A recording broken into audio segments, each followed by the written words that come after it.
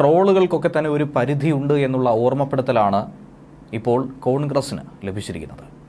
ഏറ്റവും അവസാനം അങ്ങ് വത്തിക്കാനിൽ പോലും എത്തി നിൽക്കുന്ന രീതിയിൽ ട്രോളുകൾ പോയിരിക്കുന്നു. മാർപ്പാപ്പയെ പോലും കളിയാക്കുന്ന തരത്തിലേക്ക് കാര്യങ്ങൾ അതിരുവിട്ടിരിക്കുന്നു.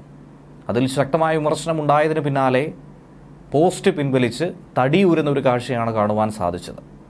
പ്രധാനമന്ത്രി നരേന്ദ്രമോദിക്കെതിരെ നിരന്തരം പരിഹാസം ഉയർത്തുന്നത് കോൺഗ്രസ് തന്നെയാണ് മറ്റാരുമല്ല. തിരിച്ചും അതേപടി തന്നെ സംഭവിക്കാറുണ്ട്.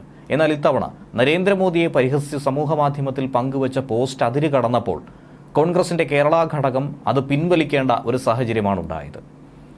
ഇറ്റലിയിൽ നടന്ന ജി സെവൻ ഉച്ചകോടിക്കിടയിൽ ഫ്രാൻസിസ് മാർപ്പാപ്പയുമായി പ്രധാനമന്ത്രി നരേന്ദ്രമോദി കൂടിക്കാഴ്ച നടത്തുന്ന ചിത്രം ട്രോൾ രൂപത്തിൽ എക്സ് പ്ലാറ്റ്ഫോമിൽ പങ്കുവച്ചതാണ് പിന്നീട് പിൻവലിക്കേണ്ടി വന്നത്.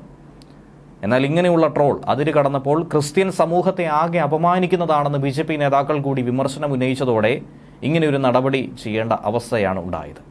ഒടുവിൽ മാർപ്പാപ്പയ്ക്ക് ദൈവത്തെ കാണാനുള്ള അവസരം ലഭിച്ചു എന്ന അടിക്കുറിപ്പോടെയാണ് എക്സിൽ പ്രധാനമന്ത്രി നരേന്ദ്രമോദിയുടെയും മാർപ്പാപ്പയുടെയും ചിത്രം കോൺഗ്രസ് പങ്കുവച്ചത്.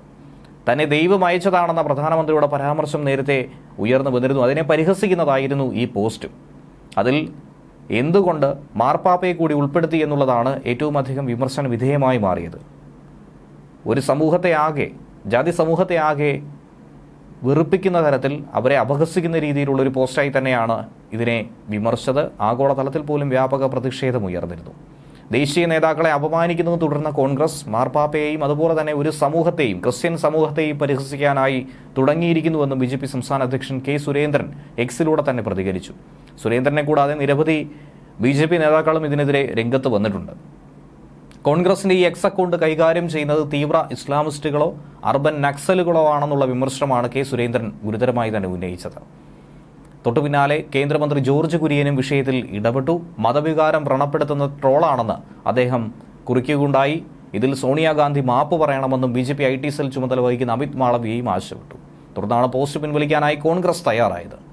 പോസ്റ്റ് ക്രിസ്തുമത വിശ്വാസികൾക്ക് ഏതെങ്കിലും തരത്തിൽ വൈകാരികമായോ മാനസികമായോ വിഷമം ഉണ്ടാക്കിയിട്ടുണ്ടെങ്കിൽ അതിൽ നിരുപാധികം ക്ഷമ ചോദിക്കുന്നു എന്ന് പറഞ്ഞാണ് ഈ പോസ്റ്റ് പിൻവലിച്ചിരിക്കുന്നത്.